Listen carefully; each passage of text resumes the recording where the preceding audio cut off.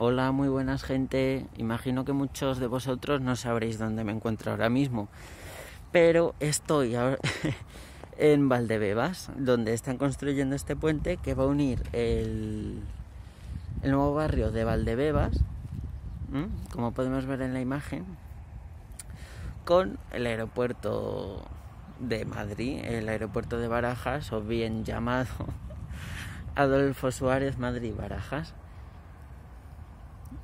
Este puente eh, se empezó a tramitar, barra construir sobre el 2017.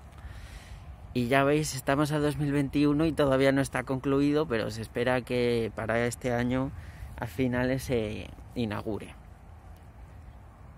Y ya va a ser posible cruzar a la T4 andando o en coche, sin tener que hacer un borivoltio ahí con el coche andando.